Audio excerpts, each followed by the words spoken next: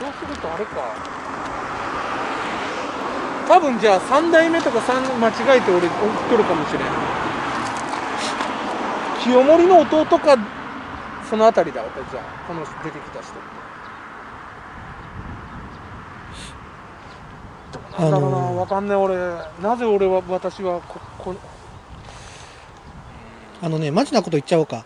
生まれてきてよかったよかったのだろうかって聞かれたのうんそうあの生まれてきてよかったんだろうかっていうセリフを聞いてあの正直言葉としての重さってなかなか人が言わないレベルじゃないですか。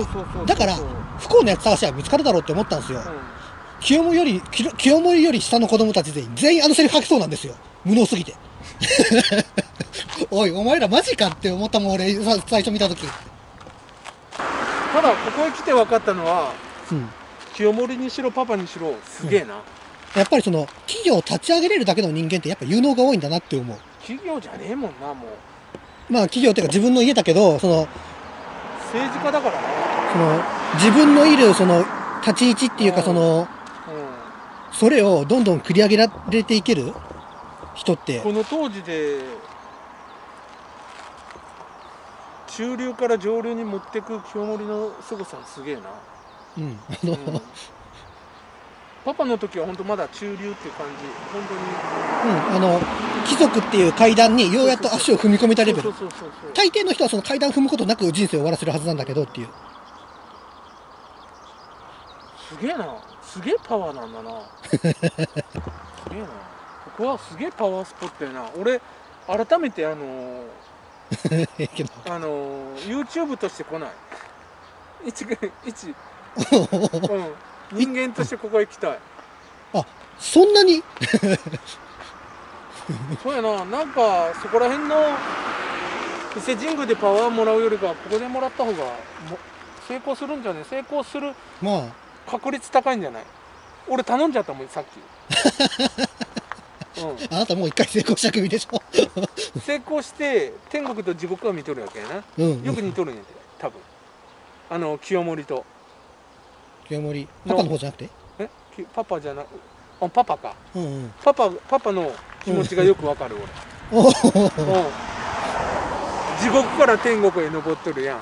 俺も地獄から天国行って地獄やで今、うん。パパは地獄知らずに死んでっとるまあ当時平均寿命がそのそもそもねで、うん、あのそんな長生きっつってもあれだから。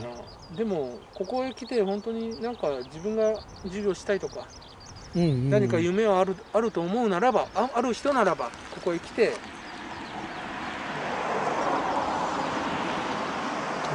そうやね。拝むのもいいんじゃないですか？拝んだお来たからおパワースポットもらったからっつって努力はしなくちゃいけないよ。そうね。努力の鬼だもんね言ってしまえばこここの努人力の鬼。うんうん。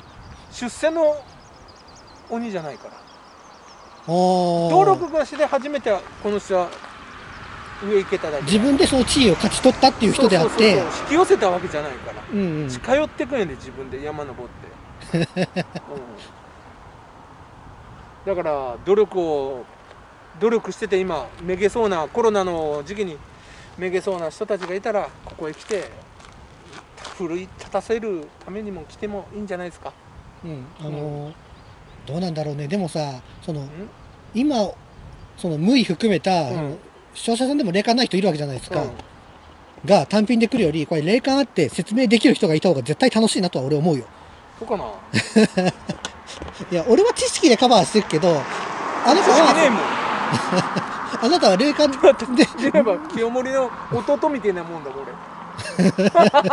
知識何もねえもん俺。いらんもん知識俺。そこご利益ありそうだからもうちょっと近寄って喋って。ご利益くれご利益くれ俺にご利益を散々遠くで喋ったけどご利益ありそうだからもうちょっと画角に映るなり近くで喋って。ここはね、うん、鳥肌ビンビン立つもん俺、うん、すげえパワー。あのねなんていうかなもう風船にもたれかかってるぐらいのパワーが 割と反発力あるね。あるな。まあ、うん。来る時は終わったら甘いもんでも食べてやったってください、なぜ甘いもの？を。いや分からん。甘いもの好きみたいだ好きなんじゃないごめん、それに関してはそんなエピソード書いてある資料を読んでないから何とも言えんけど、の嘘。パパにしろあの、ウィキ読んだ限りでは、うん。輝かしい出世ロードしかあ 書いてないかから、平民からその貴族になり上がりました。貴族の中でも、その、他す、なんていうの、もともと貴族だった人たちよりも、その、歌とか舞が上手だったっていう、なんか、お前本当にもともと平民かよって言言われるような、それ努力なんだろうね、うん。そんな人でした。で、金持ちになっても一切そういうなんかいやらしい部分を見せず、う誠実な人でしたっていうことしか書いてなかったので、清盛もだね。清盛は俺の中でイメージがジャファーなんよ。あの、やってること正しいんだけど、お前すげえことしてんなってそいう。う。まあそうだけどね。それをやらなきゃ守りきれんかったんやろうな。ああ、うん、当時の天皇はマジヤバな人だから、それはそう。ん。だけどこれ後押しするやつがバカだったからかわいそうなんだな清盛からが。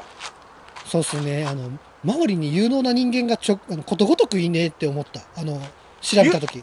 有有有能なやつなくないん有能なやつない本人はでしょ？パパにしろ清盛にしろ、うん。有能すぎるんやああ、ああ、ああ、ああ、図抜け要すぎて。するにさ俺そういうことになるの。なぜあなた後ろに下がってるかな。前で下が、前で喋って。だけどこれかわいそうだねやっぱし。うん、うん、でもやっぱパね、パパパがよくてお兄ちゃんよくだけどあとは本当に 無能？無能ではないんだぞ。頭は良かったと思う。普通の一般人一般の人たちよりかは。ただゲまあ、ゲス。ああ、それはある。あの、結局、あの、清盛より下の人の記事全部読んで思ったのは、こいつら全員なんていうの？二代目ボンボンの行動しよるなっていうのを思ったから。うん、深くは読み取れんけど多分清盛だけだったら多分今の現状ないと思ううんうん。追ってくとおー。俺ダメにしたの弟らこの一族一族一族の清盛以下だろう多分、うん。いダメにしたのはもう。むしろ弟何兄弟。うんうんうんうん。が潰してって結局下から崩れてったって感じやな。見えるとしたら上から崩れたわけじゃないう。うん、正解。正解。あの、本来上から崩れるやんどうしても。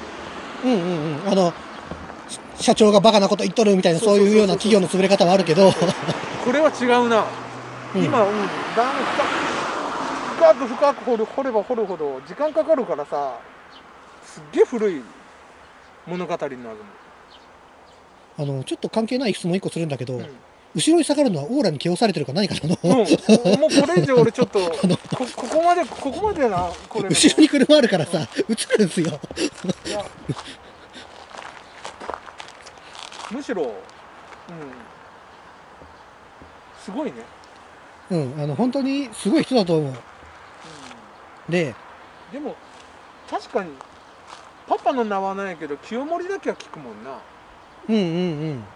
でも一番最上まで上がったのは清盛だけど清盛は飼い犬に噛まれたって言っていいのかな？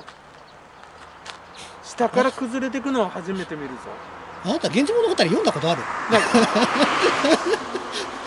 だってむしろだって車の中で喋っとる何喋っとるんこいつと思っとるもん俺。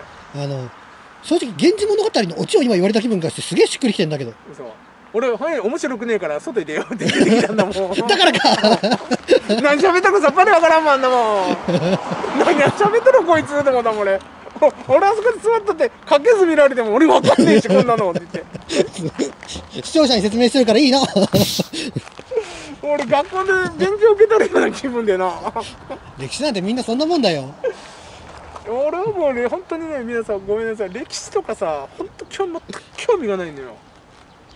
ただ今感じてることはもう僕が下がりたいぐらいオーラ。そう。あの、ちょくちょく下がりつつあってか、なんていうの、画角にさ、あの、後ろの車が映りつつあるからさ。あのねこういう人たちのさオーラってうん。本当に自分がサンドイッチになったような気分なの。中身。あうんうんうんうん。押しつぶされそうなんやってすげえ。自分が、うん。うん。あなんかプレッシャーは感じると。僕が偉そうにな自衛やりました。努力しましたっていうその努力の俺はどにも言ってないぐらいの努力がすげえ努力、うん、で清盛はその親父の背中を見て努力をしてしてして親父より上に行こうっていう、思ったのが若いんだねまだ。まあグレるか本当に親の背中目指すかの二択ぐらいな環境ではあったと思うけど多分。親父をふいや親父の厳しさ親父のそのんまあ愛してもいるんだけど憎しみも持ってるって感覚のが取れるのおうおうおうおうおうだだけど親父を超える超えるには今の地位より上に行かなくちゃいけないっていう。あれだね努力、うん、その努力をした。親父を抜いこれ以上抜く抜く親父の背中を見るのが嫌っていうか親父を超えたいっていうのがアベンジャーズのトニー・スタークみたいなことやってんな。トニー・スタックって誰 アイアンマン。ああそうそうそうそうそう。ああいうなんか父の偉大な背中を追い続けてっていうそう。いうなんか。でも最後武器作らないようになっちゃったけどな。ロボット作るようになっちゃったけどあいつは、うん。うん、あこいつは違うそのカテゴリーで父親の上行った。そう。で自分はこれでいけるんやと思ったけど周りがついてこれない、まあその下から崩れるっていうのはもう初めてだな。このかけこういう中で見るの。は初めてだな。こういう会社が下から崩れるっていう。人を信用するなっていうのを、人を信用するのうん、だから分かるような気がした俺。そのぐらいかな今感じられるのって。もうこれ以上はうん。偉いな、あの、うん、体力ないな。もうない バームクーヘンかまんとかなんていうかこっからダメな方に行くんですよ。ね ダメな方に行くんですよ。こもうっから何？マイナスここまでなんていうの？プラスイオンからマイナスイオンに行くの俺ら。マイナス4のがいいやつですね。あのここまで盛り上がったものを崩しといて自分たちはどうして不幸になったんですかっていうようなバカタレどものところに行かなきゃいけないんですよ。あそこはむしろ犠牲者やからな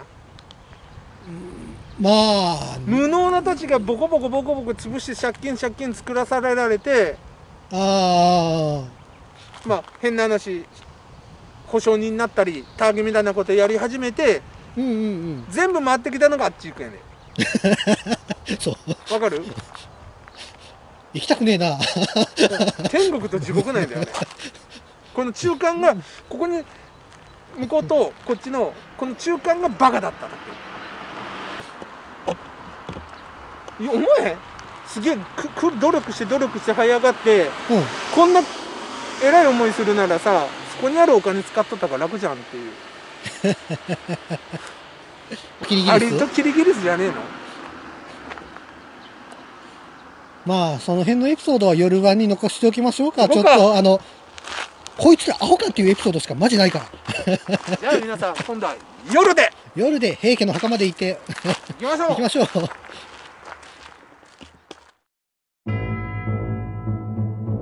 うん。六代は何も正直悪いことをしてない。うん。ただただその清盛の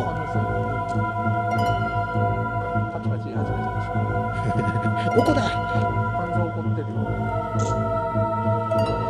穏やかじゃない。今やった。わからん。動きがあの姿見えんかった。ちゃんじゃないねよくねそれはよくね。